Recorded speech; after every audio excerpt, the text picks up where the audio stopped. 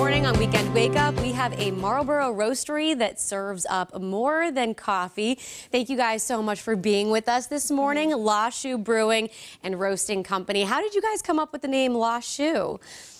Um, so Marlboro's an old shoe manufacturing city, so we really wanted to play, pay homage to um, the our city, and uh, Lost Shoe is kind of what we landed on. And I know you guys have been around for five years now. How did you get your start roasting coffee and brewing beer? Perfect combination. by the way. Perfect combination. it doesn't get better, I don't think. So I was a home brewer, and uh, she was a home roaster. And once we kind of, I don't know, we were, I was brewing in the basement, she was roasting upstairs, and and we were like, we should bring this to to the city that we live in. Yeah. Um, and so we started looking at spaces, and and here we are. Are the are the same elements true in roasting coffee and brewing beer? Like, do you use the same sort of chemistry ideas? A little bit, yeah, yeah. It's all um, flavored water. Yes. yeah. yeah. Just makes water better. exactly. Yeah. yeah. Yeah, Very similar processes. Um, the only thing with coffee is you're not fermenting it, um, but you're applying a lot of the same techniques uh, with like doing a pour over. You're basically extracting all the flavor from the coffee grounds, where with beer you're extracting the flavor from malt.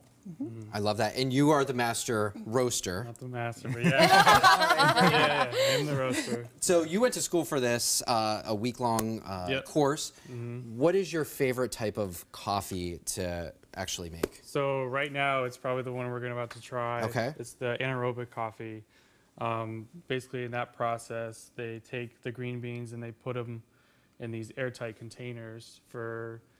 It could be like two days, it could be ten days, but when they're in this airtight container, they produce certain acids that make them that give them more exotic flavors. Ooh, so, okay.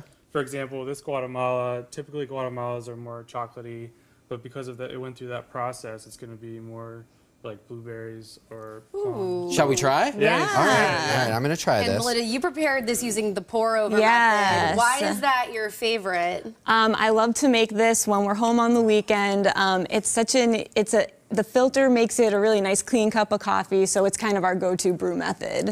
It is. This is delicious. I got to say, I usually add cream and sugar. I'm that guy. Me right? too. Don't need to. Then yeah. you don't need It to. don't- You're you don't. absolutely right. Yeah. Yes. So you guys are doing beer too. Yes. Any of your Yes. favorites? I know it's like a baby, you can't choose a favorite, but like any that you can shoot me towards. So uh, Duops, uh, meet, meet Me at Duops is one of our popular IPAs right now. Okay. Um, it's very good. It's very fruity, juicy, hazy. Um, Duops was the name of the club that was in our space before we moved in. More homage. right? Exactly. Yeah, Exactly. that's so cool. And I've been to your tap room. I love it. Um, was able to bring my dog there, which I really Yes. appreciated. um, but for people who are watching, they want to check you guys out. Where can they find you? Yeah, we're located at 19 Weed Street, right in downtown Marlboro. All right. Thank you guys so much for joining us this morning. This is delicious. Cheers. Cheers.